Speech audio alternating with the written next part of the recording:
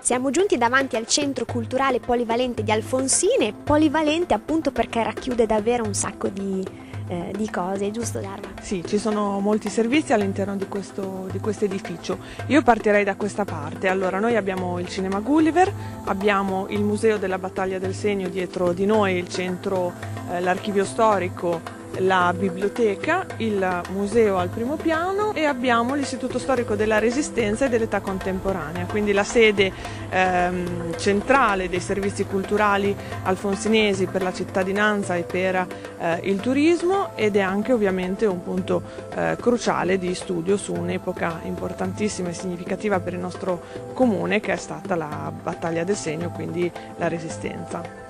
Quali sono Darva le, le iniziative prossime per la commemorazione alla liberazione? Allora, il 10 aprile 2009 è un anno in cui abbiamo investito moltissimo dal punto di vista eh, culturale per le iniziative della liberazione. La festa di liberazione per Alfonsina è la festa del, del paese, è un momento di grande partecipazione popolare, quindi l'amministrazione si impegna ogni anno a rendere il calendario sempre più eh, importante e sempre eh, tenendo conto di quello che è la memoria storica di questo, di questo paese. Quindi noi avremo le celebrazioni ufficiali la mattina del 10 aprile.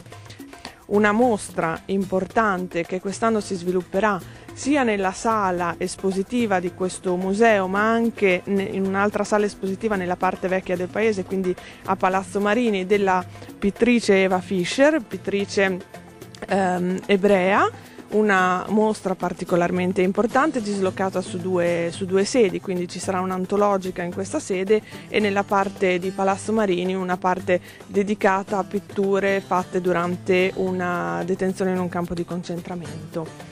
E poi da qualche anno facciamo un grande investimento estremamente importante per avvicinare i giovani, i ragazzi eh, alla festa di celebrazione. Quindi quest'anno faremo il 25 aprile per questioni legate alla Pasqua mh, mm, nella, nella, giornata intorno al 10 aprile, quindi l'abbiamo spostato un pochino in avanti. Un concerto importante, l'anno scorso abbiamo avuto i Nomadi, quest'anno far, faremo il concerto di Daniele Silvestri, quindi un eh, momento molto bello in cui la piazza si riempie di ragazzi e giovani intorno alle tematiche della resistenza. Quindi un sacco di, di occasioni per poter venire in visita ad Alfonsine e a questo punto diamo la linea a Maurizio che si trova all'interno di questo centro culturale in compagnia di Antonietta eh, appunto per eh, approfondire quello che è il museo del segno. Eh sì, sono qua all'interno di questo museo della battaglia del segno in compagnia della direttrice eh, Antonietta Di Carluccio. Buongiorno Antonietta. Buongiorno. Un museo straordinario che ci, ci, fa ritornare indietro nel tempo, alla seconda guerra mondiale. Seconda guerra mondiale, sì, questo museo in realtà è nato nel 1981, però la storia che racconta è proprio quella dell'ultima fase della seconda guerra mondiale in questa zona il fronte è rimasto fermo molti mesi, da dicembre ad aprile, e ha portato delle trasformazioni notevoli. Il museo dà conto di quel periodo, in effetti. Ecco, un museo che è stato veramente curato nei particolari, Antonietta. Io sono rimasto attratto subito da questa immagine che abbiamo qui alle nostre spalle e ti chiedo di spiegare naturalmente cosa, cosa rappresenta, cosa volete, cosa volete dire a chi viene qui al museo. Sì, questa è un'immagine fatta di tante immagini, in effetti l'abbiamo messa nell'atrio proprio perché dà conto della storia che racconta il museo. Se guardi troverai tutti i personaggi di quel periodo. Puoi vedere i soldati tedeschi, ma ci sono i soldati alleati che mm, si fronteggiavano, ci sono i partigiani, il livello di distruzione enorme che scorgi in quella fotografia e una cosa a cui noi teniamo molto, la presenza dei civili, perché questo museo racconta non solo le vicende militari, non solo dei soldati, ma anche dei civili, di come la loro vita è cambiata e di quanto è cambiato il territorio. Sì, perché la Fonsilio poi dobbiamo dire è stata praticamente rasa al suolo quell'epoca. Eh sì, ha avuto un tasso di distruzione tale che tra l'altro dovendo ricostruire si è scelto di costruire dall'altro lato del fiume, quindi Alfonsine Vecchia era sulla destra del Senio, l'Alfonsine Nuova è sulla sinistra. Ed è stata ricostruita, pensa, da Giuseppe Vaccaro, che era un architetto razionalista straordinario, anche urbanista, e ha costruito ex novo, diciamo, il nuovo centro. Pianta, diciamo, il nuovo centro sì. del Fonsilio. Ecco, un museo che all'interno racchiude tantissime cose, di cui la, una, in particolare mi ha colpito eh, la radio, in cui è stata data a quell'epoca purtroppo eh, diciamo, la notizia che si sarebbe entrati in guerra, vero? Sì, quella è la radio da cui il 10 giugno del 40 gli alfonsinesi seppero che eravamo in guerra ed è assieme ad altri due oggetti significativi, la macchina per la proiezione cinematografica e una fotocamera da studio. Sono gli strumenti con cui nel Novecento si faceva, si divulgavano le notizie. Le notizie. Ecco, però se tu sei d'accordo, io sarei nei piani superiori a vedere le due sale, eh, per, soprattutto per vedere com'è suddiviso appunto il museo eh, della battaglia del segno. Ci spostiamo di sopra. Troviamo in, uno, diciamo, in una delle due sale, diciamo, la prima sala diciamo, del percorso guidato all'interno di questo museo, mi ha incuriosito questa, questa, questa vetrina. Sì, eh, hai ragione ad essere incuriosito perché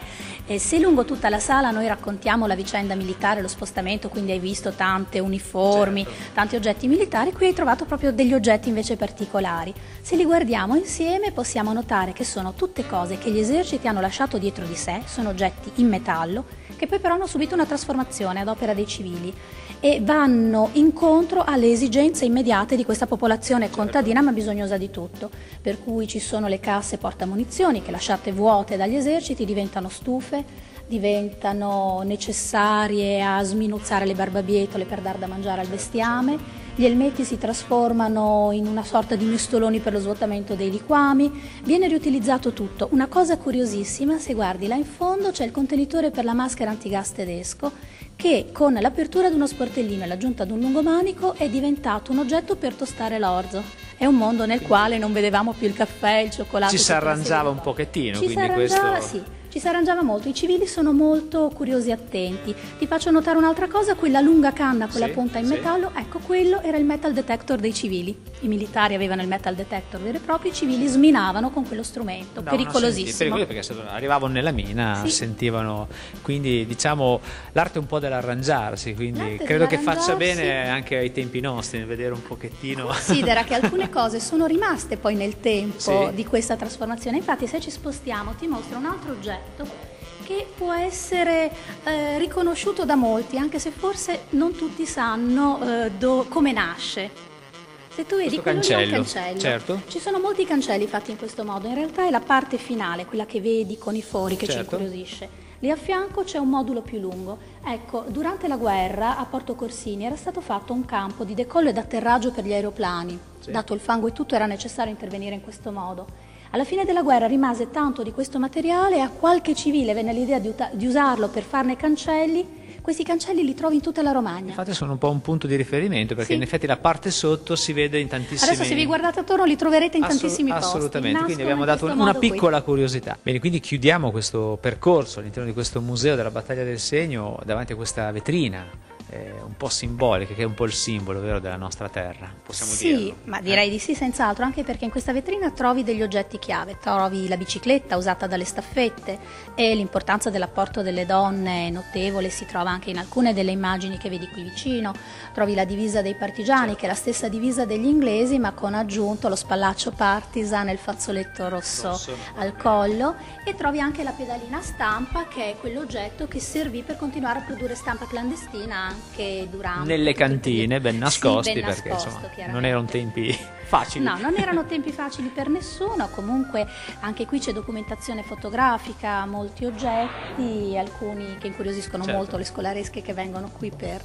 Eh, direi, serve appunto per ricordare. Antonietta, diamo gli appuntamenti quando è aperto il museo, dove si può consultare Bene, il allora, sito internet. Sì, allora il nostro museo è aperto eh, tutti i giorni, dal lunedì al venerdì, mattina e pomeriggio e riceviamo molte scolaresche.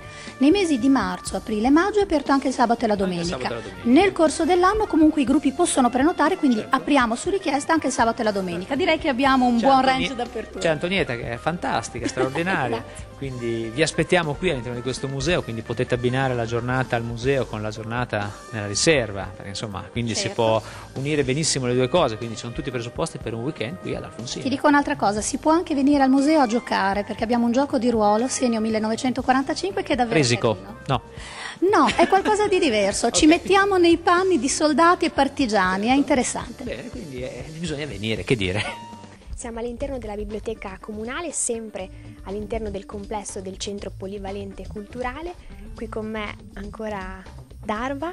Com- com'è articolata la biblioteca e che servizi offre ai suoi utenti? Bene, la biblioteca comunale Pinorioli è ehm, insomma, ha diverse stanze, quindi offre la possibilità di prendere a prestito libri, consultarli all'interno di questa sala, della sala ragazzi. E, ehm, è un servizio estremamente importante, estremamente frequentato eh, dai ragazzi e dagli alfonsinesi. Dico nello specifico dai ragazzi perché all'interno di questa biblioteca c'è un bel gruppo eh, di studenti universitari e non che lavora e collabora con l'amministrazione comunale in maniera costante alle iniziative culturali. Eh, c'è un progetto importante all'interno di questa, di questa, biblioteca che è il progetto di promozione alla lettura dei bambini, quindi l'avvicinamento, il tentativo di avvicinare i bambini e di far capire ai genitori quanto è importante imparare a leggere fin dalla prima infanzia. C'è una sala eh, per i bambini della biblioteca 06, quindi per un target molto, molto piccolo. E c'è una sala che tra pochi giorni ospiterà il 10 eh, nello specifico ospiterà un'iniziativa importante, diventerà un piccolo centro di accoglienza per quelle mamme che sono in giro per il paese e hanno bisogno di un angolo appartato, un angolo delle coccole appartato per cambiare e allattare i propri bambini.